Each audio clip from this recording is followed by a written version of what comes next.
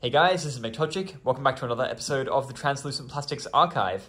In today's episode, I'm going to be unboxing this 4-port USB 2.0 hub, which is translucent. Um, and I got this for a dollar on eBay. I didn't actually need to get this, um, but I decided for a dollar, I might as well get it and unbox it for the channel. Uh, the reason it's so cheap is because these things are so easy to find. Uh, you can find USB 2 hubs uh, all over the place, really cheap. There are so many of these made, probably millions, maybe you know, possibly even almost the billions. Anyway, I'll just tell you about a little bit about this because there was something about it that um, was interesting for me. Firstly, the fact that it's translucent, but if you look on the box here, you'll see that it has two color options: graphite and translucent. The graphite one is the one you see here, and then the translucent one is what we've got inside the box, and you'll see how that differs in color. Um, the reason I mention this is because USB 2 as a standard, uh, I think it was standardized around 2002. Uh, I think around 2001, but was sort of released commercially around 2002. And the significance of that is really that uh, Apple had essentially ditched its graphite color scheme by that point.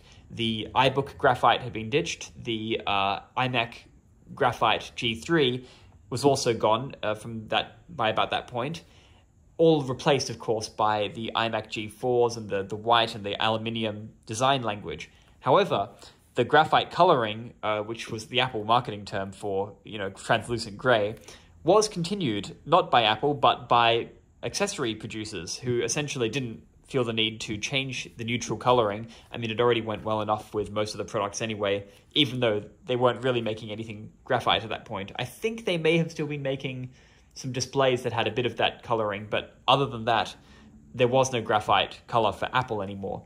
But these USB 2 hubs were being made. So I thought I'd unbox this and tell you a little bit about it. And it, it, I think it's complete in box, uh, though it is not sealed. We will see what's inside. It should have everything in there.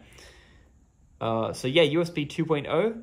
Uh, it, if you look at the requirements here, you can see it, it supports Windows XP, so you can see it's that kind of era. Uh, of course, it supports Mac OS uh, Mac, Mac OS 9 though was not ever compatible with USB 2. Uh, it would run it. It would run, but at USB 1.0 speeds, so 1.1 speeds anyway. Let's have a look.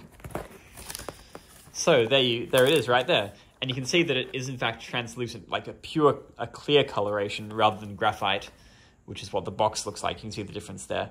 Graphite, I would have preferred actually, but um, this translucent is pretty nice too. I mean, the thing that some people like this more. The thing that's great about it is you can really see just everything. It, there's no hiding the look behind a sort of frosted glass, you know. It's just purely, all the electronics are right there for you to see. The PCB, the ports, the soldering, um, all of that, it's all there.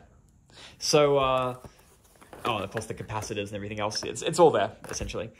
Uh, then you've got the USB cable. You can see the USB B to USB A. I'm not sure if this is original, but it is kind of appropriate for the time. They would most companies by this point they may still be doing some translucent stuff, but they weren't really bothering to go the whole way uh, by making translucent cables as well. Though it would be a nice thing to have, right? Um, yeah, it, it kind of shows that the design language by this point was kind of over. It was just a sort of remnant by this point. Uh, and then you've got, which it's kind of regrettable, but this big, beefy, standard power supply. Uh, this is Australian because I'm in Australia, but yeah, essentially just a power supply. So I think this kind of one would be able to run uh, without the power supply as long as you don't overload the power requirements. So we should be able to get something like a mouse running through here. Now to test that, I've brought in uh, something that would actually need a USB hub, uh, my 2009 MacBook Air. So, you know, something that only has one USB port, kind of benefits from having a hub. So let's just get that hub out and then we'll try plug in some accessories and see whether they actually work. And we'll also see how the, uh, the translucent hub lights up when it's powered. All right, so here we are with the hub. Let's get it powered on. Typical for this era, you get something kind of like a, yeah, there's a red light. That would probably look nicer at, at nighttime, wouldn't it? Uh, so there's the hub powered. Now I'm going to put in the mouse. We're going to use my um, translucent mouse that I've used in the past, the iOpti Junior, which is I think is just so nice. Fits the design language very well, right? Because you've got some pure clear plastics there. Of course, this was made in around 2000, maybe 2001. This is 2003, so you can see there's a that that language is still there, that design style. this, of course, has a translucent cable, which is nicer. Plug that in, and there you go. That's powering. No problems. Is it working in the OS? Yep, just fine. Yep. A little shaky, but that's just from probably from the table. And the next thing I'll plug in, the next thing I'll plug in is this uh, gigabit Ethernet to USB adapter. Now, I don't think we'll get, you will not get gigabit, gigabit speeds through a USB 2 hub, but it should at least pick it up, and I don't think it would require extra power.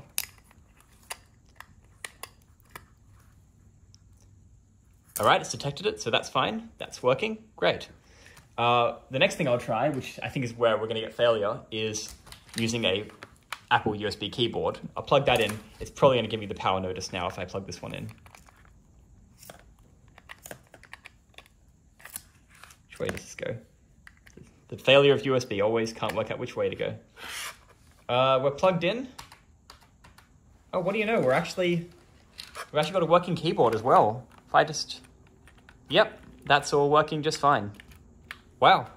Okay, so three ports are all plugged in and that's still working. So we're going to have to push this a little further. All right, I didn't expect to overload it th that much uh, without actually giving it some external power. I guess that maybe my expectations were lower than I thought. All right, we'll give it a fourth accessory, a mouse, another mouse. Well, that's fine. Mice don't require much power. What if I plug the mouse into the keyboard? So a hub going through a hub. That's fine too. Cool. Wow, we're getting a lot of power here. So the next thing I'm going to try, which I think is going to finally overload it, will be this disk drive.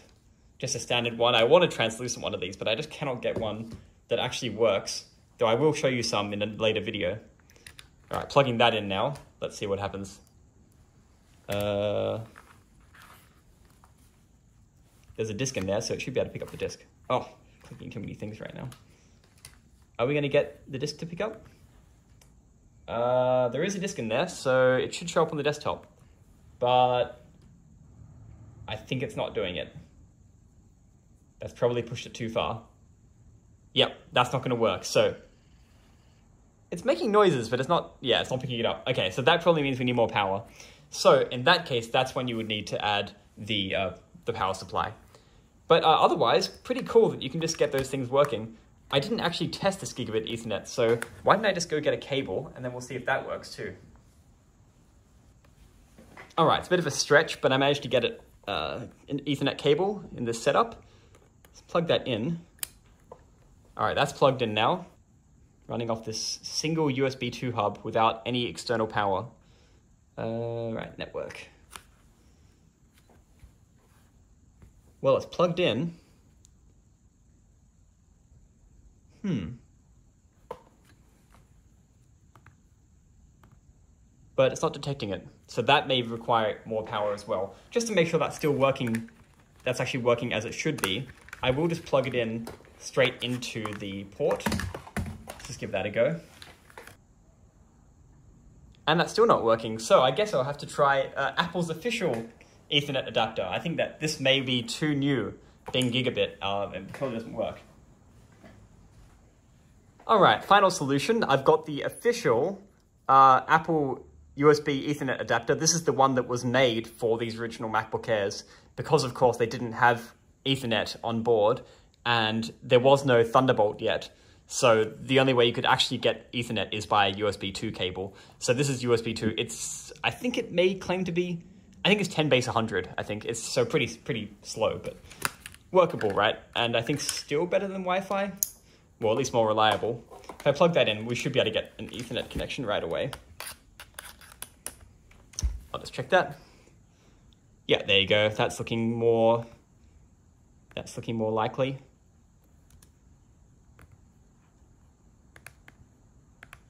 There we go. So that's, there we go, that's fully connected. Okay, great. So what, that's just straight through from the, obviously that's gonna work. Now we'll try it with the hub and see whether there's enough power there to actually work.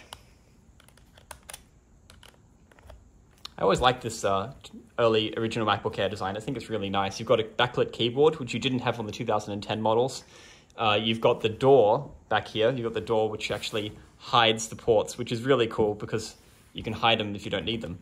Uh, and of course the uh, recessed MagSafe cable at the back there. So when you're using it, you don't actually have to see any ports, and I think that's something that Jony Ive really liked, but had to ditch for the later um, for the later revisions.